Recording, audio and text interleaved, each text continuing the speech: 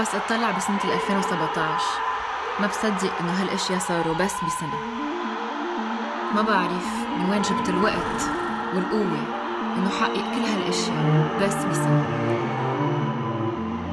2017 بترمز لعاشر سنة لإلي بالفن ولعاشر سنة من التعامل مع أسامة الرحباني مقابلات وسفر لبلدان ما كنت بحياتي بتخيل إني غني فيها. نيهاو شانغهاي وجمهور ما كنت بحياتي بتخيل إني أوصل له.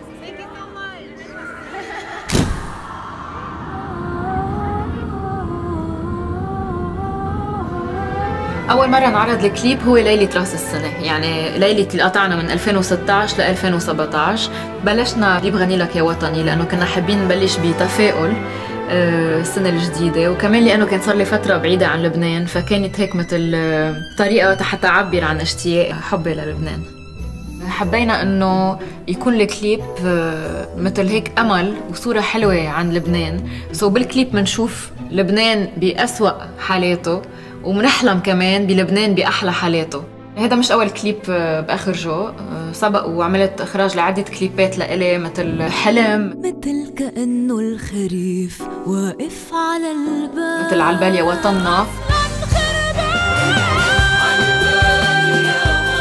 فهلا هالمرة كان ثالث كليب لإلي أنا باخرجه وسام عرض علي الفكرة. أه، حكينا بالفكرة مع بعض أه، وكان في معنا كمان شخص ثالث اشتغلنا معه على الفكرة اللي هو إيميل عضايمة يلي نفذ كل ال special effects بالكليب. وأكيد يعني شفنا إنه قديش الشيء المميز في للكليب كان قديش كان في شغل على التقنيات وال animation إلى آخره. هذا كله استعنا فيه حتى نجرب نخلق لبنان بعد أحلى وأحلى. اللي بدك اياهم لل fashion فسادات. أنا بقترح نعملهم بدل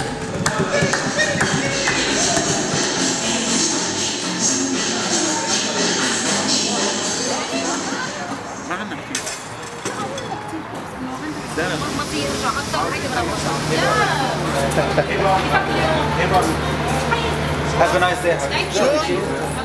عندك ولا صمت تبين هيك؟ هيك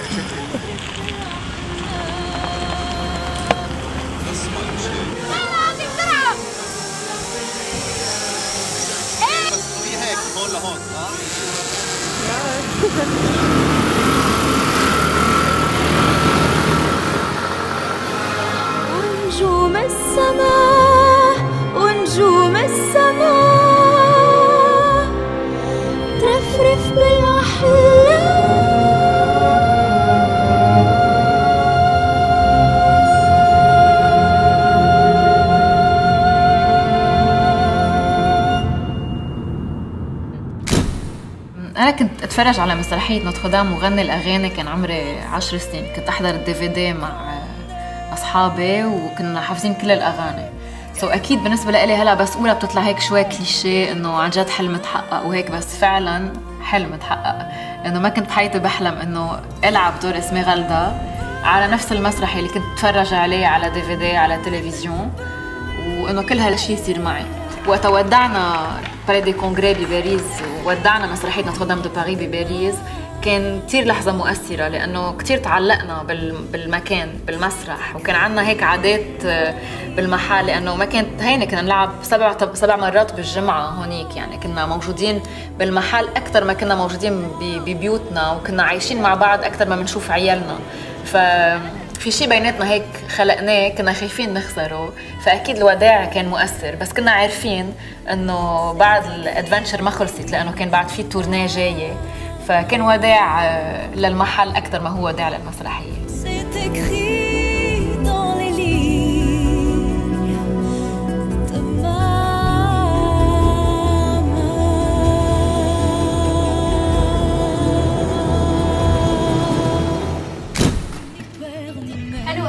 We're so happy to come meet you all at Taipei from the 24th of February till the 5th of March.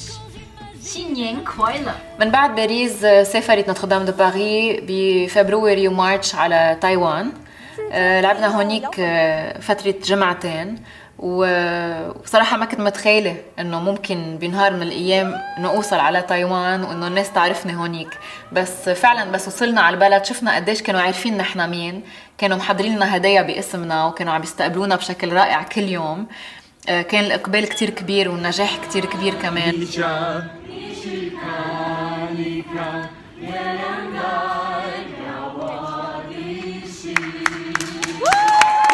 ودائما من بعد المسرحية كنا نلتقى بالجمهور آه، نعمل مثل séance de dédicace ونتعرف عليهم أكثر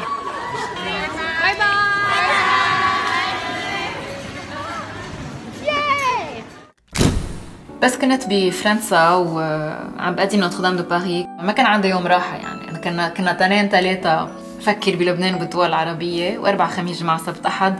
كون إسميرالدا بالبالي دي كونغري أو ما بعرف باي بلد. كنت أستفيد من هالنهارين حتى أشتغل على كتير projects كنت عم بحضرهم للدول العربية وللبنان. منهم ألبوم هبه طوجي 30 و... وكليب وحدي لحالي وال photo session اللي عملناها للألبوم. لحالي سهراني وإنت لوحدك سهران. آه، صورناها بنفس الوقت وقت كنا عم نعمل photoshoot آه، للألبوم مع مختار بيروت. Mais c'est un contraste. C'est. euh, يعني هي الغنية simple romantic وقريبة على القلب حبينا إنه الكليب يكون بيشبهها آه، كلمات غادي الرحباني وأكيد إنتاج وتأليف أسامة الرحباني وانت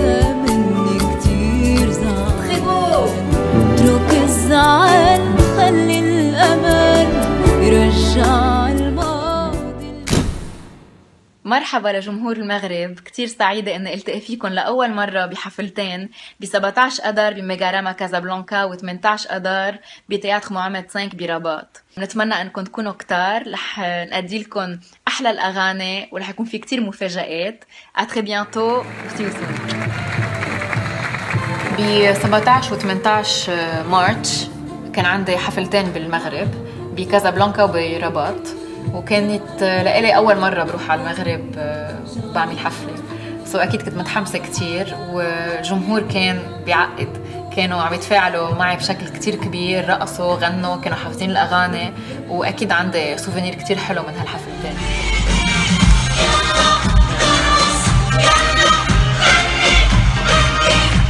كتير حبيت آه، Maroc يعني حسيت الجو فيها كتير حلو. آه، اكلت أكل كتير طيب وتعرفت على ال- ال cuisine ال marocaine أكثر. ونحن كفريق يعني تسلينا كتير بين بعض زرنا كتير محلات وكان عن جد جو كتير حلو بالنسبة لنا كمان كفريق.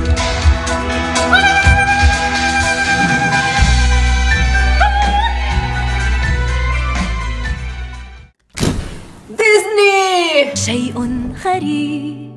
قدمي على الرخام.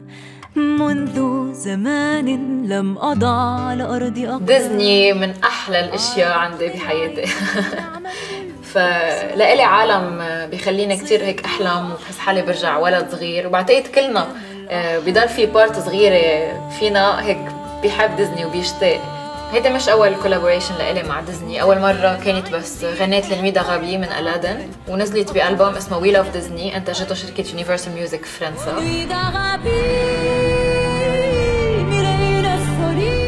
وهالمرة اتصلوا فيي ديزني again كرمال سجل غنية ل Elena of Avalor يلي هي série جديدة وحبوا إنه غنيها بالعربي.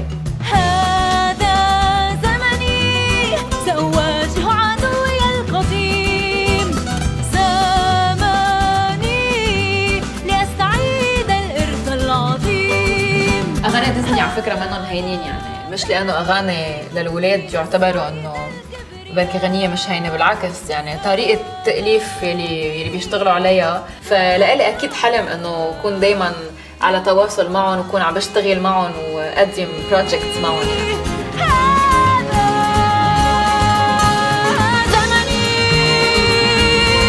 عادني.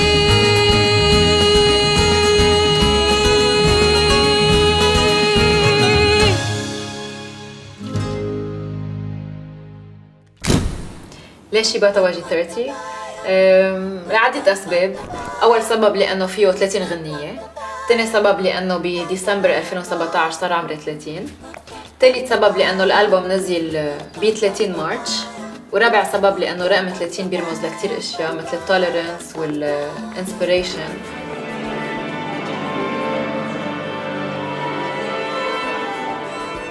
يعني ما بقى ما بقى حدا حتى عم بيفكر يعمل ألبوم أصلا. يعني صار أكثر ال industry متكلة إنه على ال singles أكثر من إنه حدا يعمل سي دي أنا وأسامة يعني ما بنفكر هيك.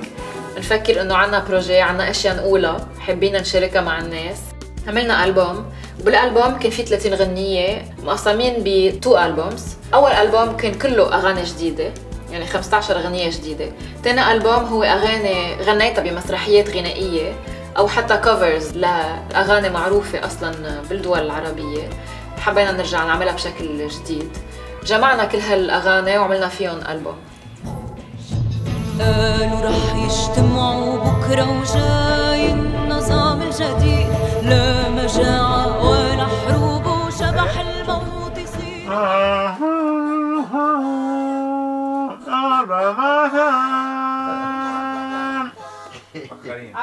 ألو يلا يلا خلصنا مشينا مشينا هلا مشينا وين بخطر ولا شو؟ لا لا ما في شيء هون. دخلك الشوكولاتة وين؟ أخذهم أسامة بعتقد ما عاد في شيء هون. أخذهم هون بيت إذا بدك تكليهم. يلا bye. يعطيك العافيه bye. أول شيء نزل الألبوم على أنغامي. عملنا عندهم إطلاق للسي كان في ناس صحفية كان في ناس من الميديا وكان في كتير أشخاص اشتغلوا معنا على الألبوم. وغنينا كمان كتير أغاني من السي دي وكان في خوسيه فرنانديز كمان رافقنا على الجيتار. وكان event كتير حلو. والورد بلسان دمعت لما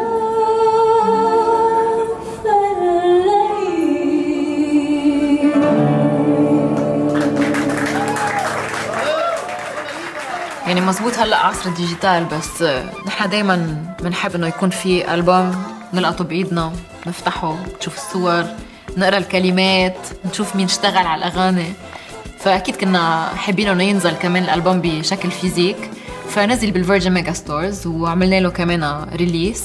وهون كان في fans إجوا تصورنا مع بعض وحكينا مع بعض ومديت لهم الألبومز و يعني كمان كتير مهم إنه يكون في بيني وبين الناس اللي بتسمع الموسيقى اللي بقدمها آه، علاقة هيك حلوة. لأنه بالنهاية بحب أعرف رأيهم بحب شوف الفيدباك تبعهم آه، وكتير مهم إنه يخلق بيناتنا علاقة حلوة.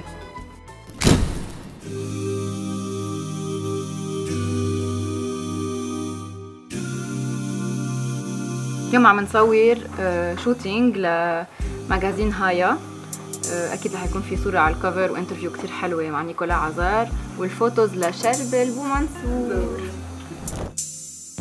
موج البحر السني مغير ولا أنا أكيد الصحافة آه، والميديا تابعوا كتير كل شيء كنت عم بقدمه. بال 2017 كنت كفر جيرل ل two magazines لها وهايا. ولا أنا اتحير كثير بحب أشتغل مع أشخاص talented هيك بيضيفوا على كل شيء بقدمه شيء حلو ومميز ال photoshoot هايا كانت كثير حلوة لأنه صورنا بمترو المدينة وكان الجو جو مسرح آه، وكثير حبيت الصور والمقابلة كانت كثير حلوة كمان و it was really a nice shoot.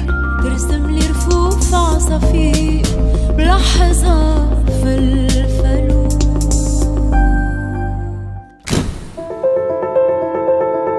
La tournée, c'est vraiment quelque chose de magique. euh, C'est la continuité du spectacle. On part à la rencontre des gens, c'est une belle ambiance dans les coulisses. Et aussi, on euh, découvre toutes les régions françaises. Ça y est, on a commencé. Première représentation à Toulouse. C'est le début d'une aventure euh, qui va durer toute l'année 2017. Et c'est euh, l'aboutissement de, de quelques années de travail.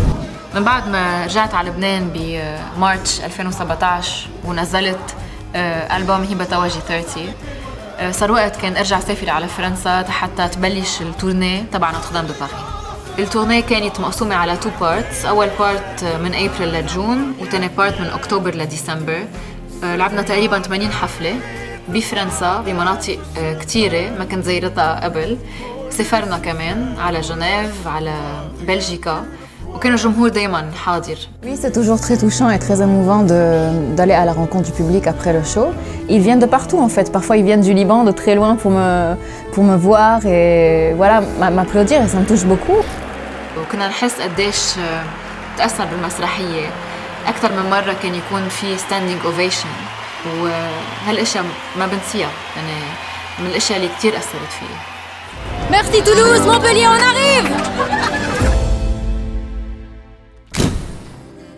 بماي 2017 آه، صار شيء كتير حلو نزل آه، ألبوم نوتردام دو باري آه، فأنا كنت أسمع قبل آه، الألبوم بس مش بصوتي فهلأ صار موجود بصوتي.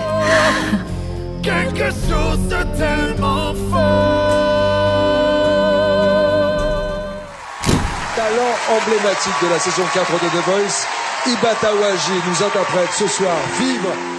La nuit est si belle آه، الميديا الفرنسوية كتير آه، حكيت عن مسرحية نوتردام دو باري وكنت ضايفة بكذا برنامج وحتى بالأخبار كان في كتير ريبورتاجات تنعمل آه، عني عن ال cast كله عن كل ال shows اللي كنا نقوم فيهم بكذا منطقة.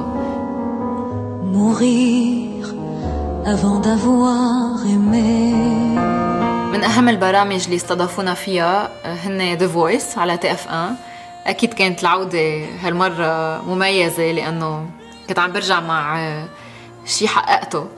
آه، وكانوا الناس عم بيشوفوا شو شو إجاني من بعد The Voice شو صار. فكان الجواب نوتر دام دو باري فأكيد كانت شيء symbolique إنه أنا أرجع على The Voice بس غني أغاني نوتر دام دو باري آه، غنينا فيفر وبل Jusqu'à mourir d'amour.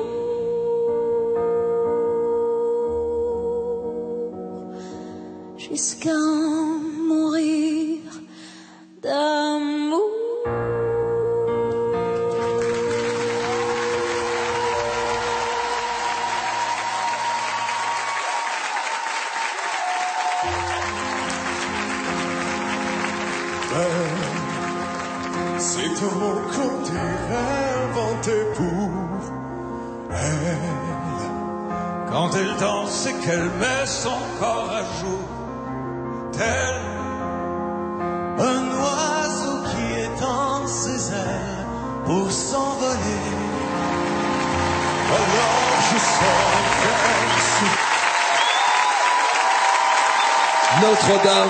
de Paris.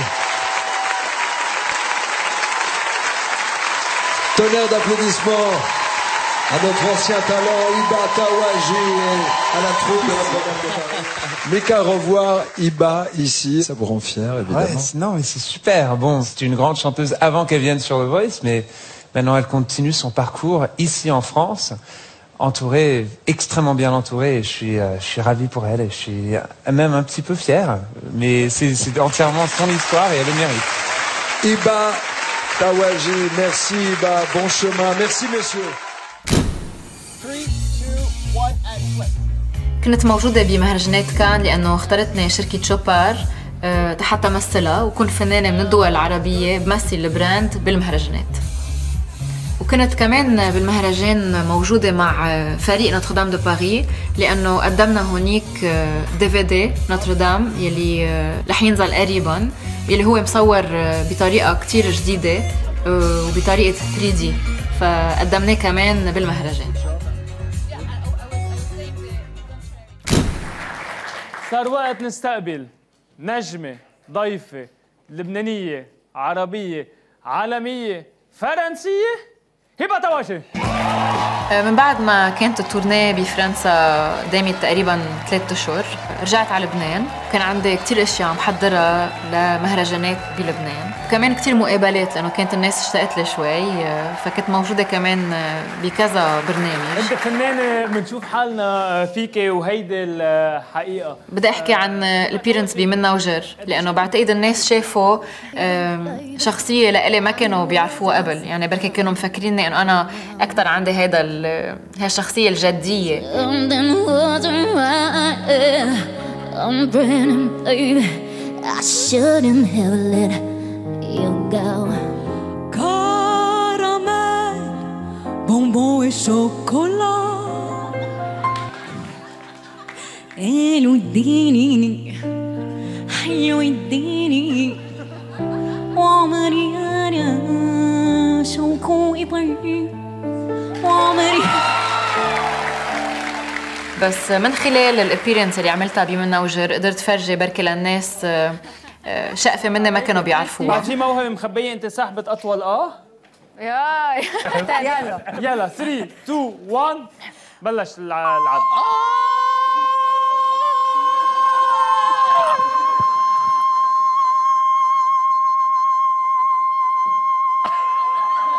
تسعة وثلاثين واحدة وثلاثين. ثلاثة وثلاثين.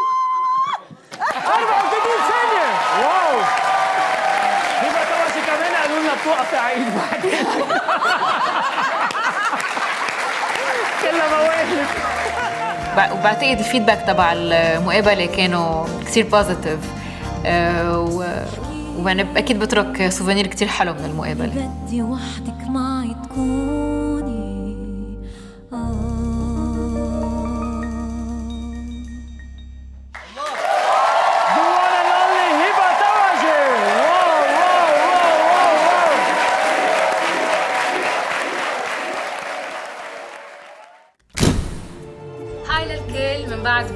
تايوان جنيف والجولة الفرنسية نوتردام دو باري جاي على لبنان. من 8 ل 11 تموز على مهرجانات جونيه الدولية. كونوا كتار كتير محمسين نشوفكم. من بعد ما رجعت على لبنان والتقيت بالعيلة وبالأصحاب وبلشت حضر كتير مشاريع لمهرجانات صيفية صار شي كتير مهم إنه كتير ناس ما قدروا يحضروا نوتردام دو باري بفرنسا.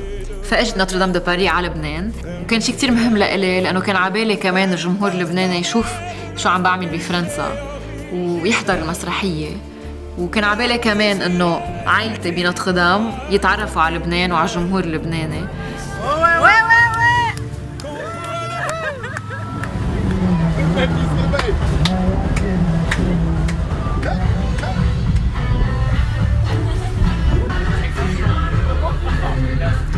حسب ما عرفت إنه كان نوتردام دو باري من أكثر الحفلات الناجحة والمنباعة.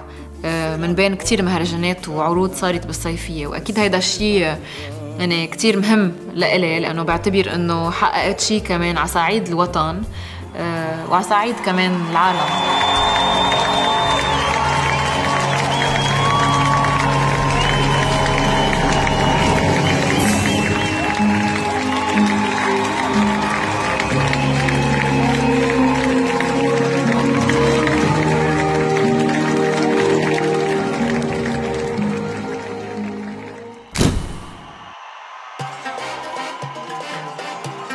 من بعد نوتردام بجونيي صار وقت إنه أرجع ركز على مشاريعنا الخاصة أنا واسامة، كان مهم لإلي كمان إنه يكون عندي تورنيه بلبنان، فمن بعد الارز كان عندي حفلة بزحلة، من بعدها بالحدد، ومن بعدها بمهرجان الأضحى بالبيان.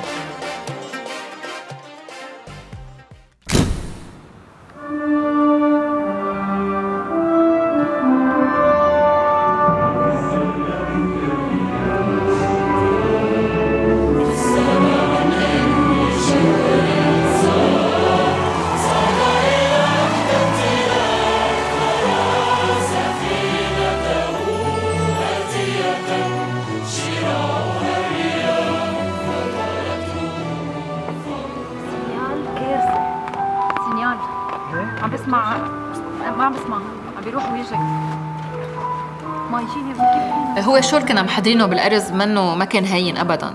إن كان من ناحية الغناء الرقص الحركة الإخراج ال effects يلي كنا عم نقدمهم آه، منه هين. والصعوبة الأكبر إنه كنا عم نقدم كل هالشي ببرد كتير لا يحتمل. يعني والناس اللي عم تحضر بركي ما بتعرف إنه نحن قديش بالكواليس بنبقى حاسين ب stress قديش بنكون مسقعين. يعني شايفينا بفستان عم برقص وغني و... وعم بضحك. بس من جوا كنت مسقعة كتير. وكنت خايفة لأنه مش هينة إنه البرد فيه فيه يخون والصوت ما. ما يقدر يلبي الشخص اللي عم بيغني. ف كل هالأمور كانت صعبة كتير. بس آه، في شيء هيك بحسه سحر. بس آه، نطلع على المسرح. بيخلي إنه كل شيء يصير على ما يرام مثل ما بيقولوا. وعندي إيمان كتير كبير يعني بتكل على الله وكل مرة بس حس إنه في شيء صعب بتكل عليه وبحس إنه بالآخر بيمشي الحال. والنتيجة مثل ما شفناها بالأرز كانت النتيجة رائعة والجمهور كان كتير سعيد والشو نجح.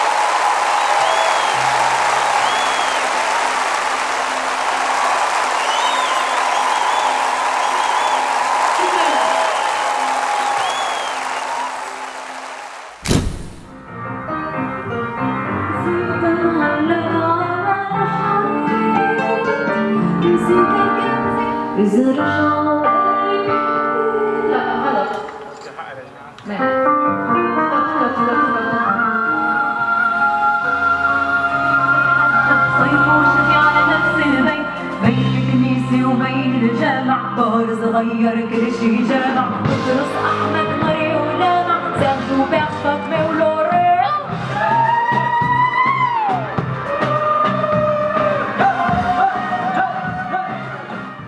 أمسيات زحلي فestival ونحن 11 أب.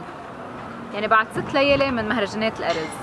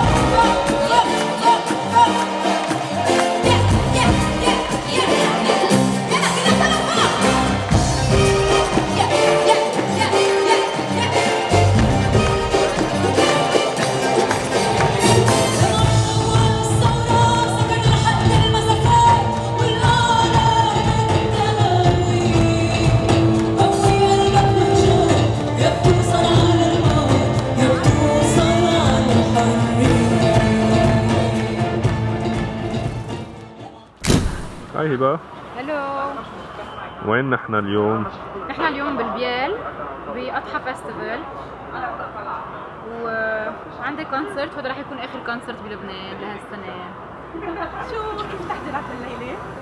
خبريهم تحضيرات إيه. عقد وكثير مبسوطين ومحمسين للحفلة ليلي بعد بلحق أشتري ticket شو بنقول لهم؟ يلا هلا على البيال. now or never يعني. حبيبتي يعطيك العافية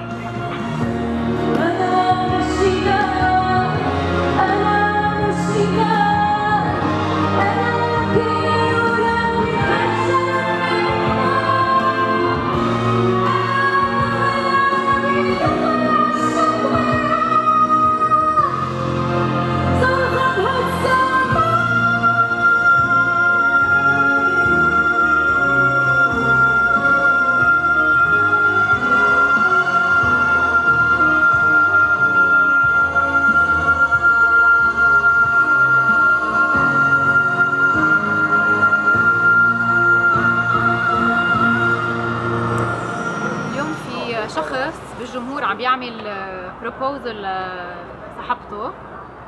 فإن شاء الله بس تطلع على المسرح تقول yes ما تقول no لأنه بنتبهدل كلنا. فأكيد special أنا صراحة محمسة على ال proposal أكثر من ال concert يلا آخر وحدة. يعني يلا نرقص وبعد بلا التناقض يلا دقيقة دقيقة.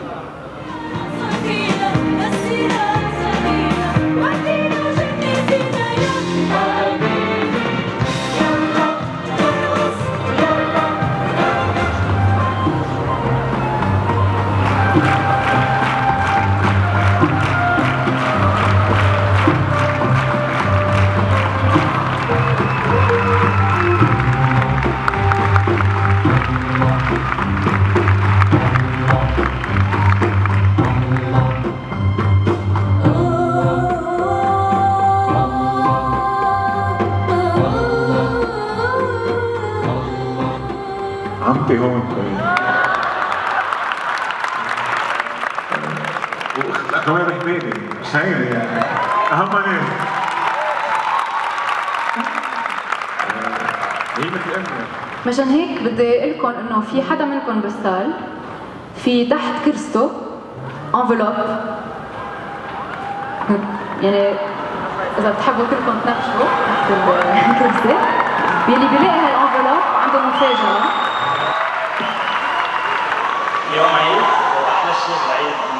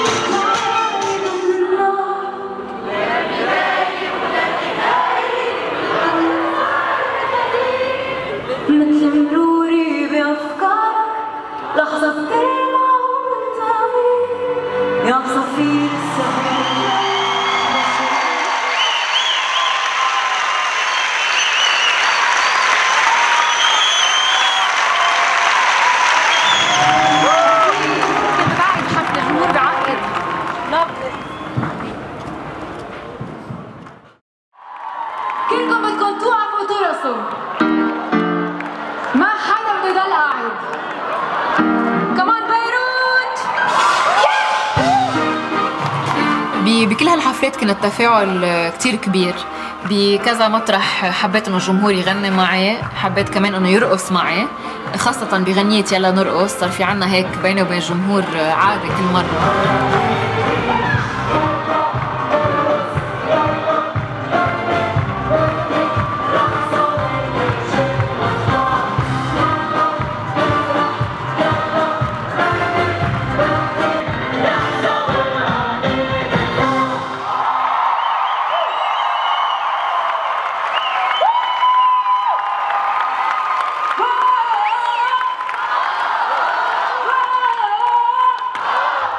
بداية ولا نهاية كمان أكثر من مرة. خليتهم هن يصرخوا الصرخة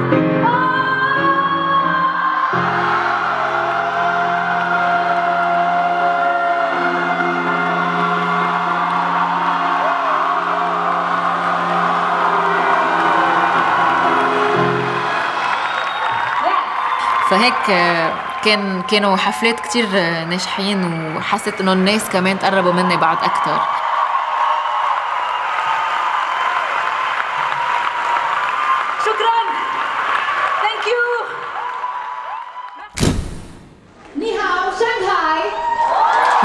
الحفلات بلبنان بشهر سبتمبر سافرت على China على شنغهاي وشاركت ب French Musical Gala Concert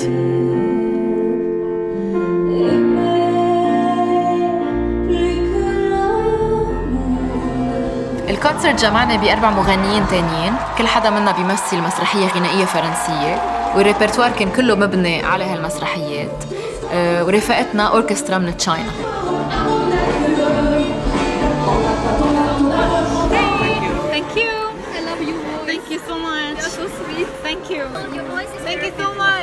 الجمهور بتشاينا كان بالنسبة لإلي الصدمة الإيجابية. أه مثل ما صار معي بتايوان ما كنت بتخيل إنه كمان ممكن بتشاينا إنه يكون في ناس بتتابعني بتعرف أنا مين؟ أه بتنطرنا. يعني العدد الأشخاص اللي كانوا عم بيطرونا بعد كل حفلة ما بحياتي كنت شايفته قبل. قديش كانوا محمسين قديش كانوا موجودين كل مرة. يعني لإلي مشهد ما بنساه.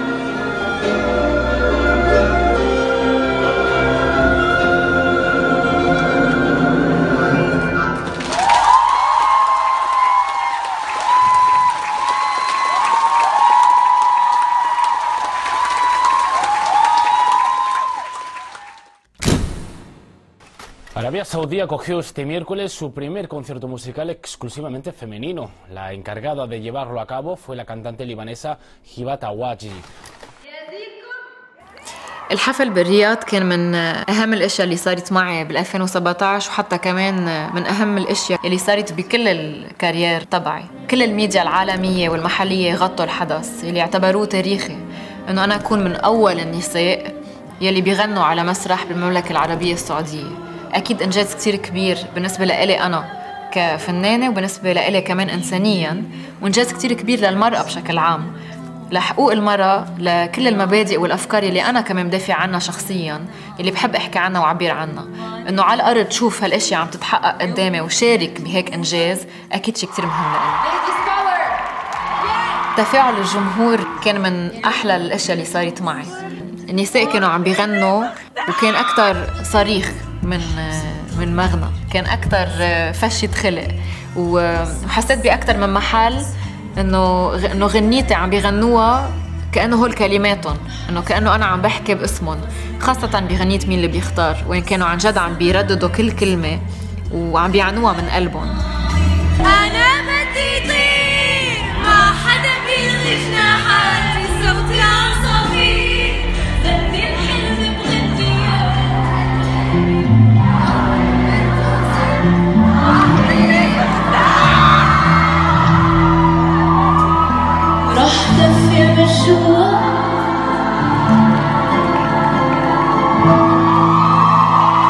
وهون عن جد بصير فكر إنه قديش بحب شغلتي قديش بحب غني لأنه بحس إنه بمحل ما عم بعمل فرق. مش لإلي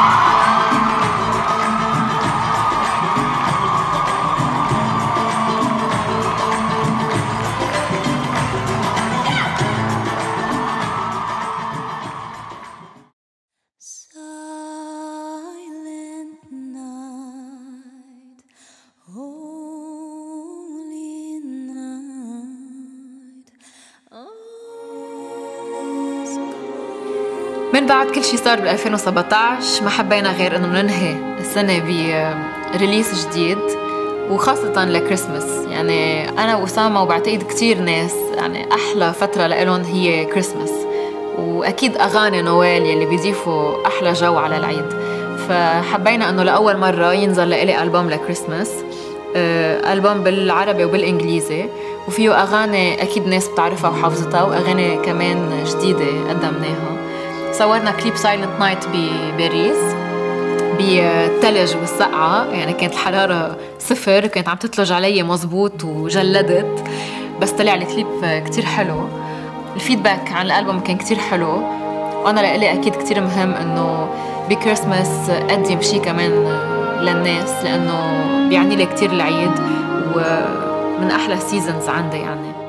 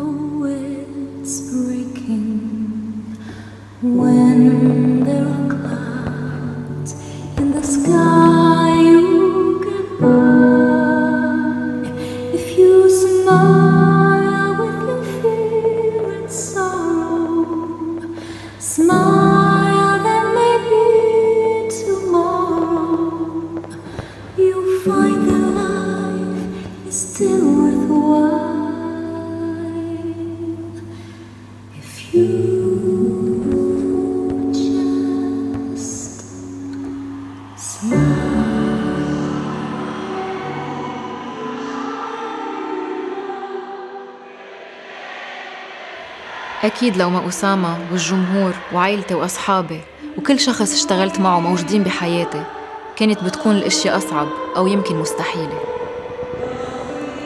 خلصت سنة وبلشت سنة جديدة وبحمل معي كل لحظة حلوة قطعت وما بعرف شو الدنيا مخبيتلي بس بعرف إنه إيماني كبير وبعد في كتير أحلام عبالي شاركها معكم وحققها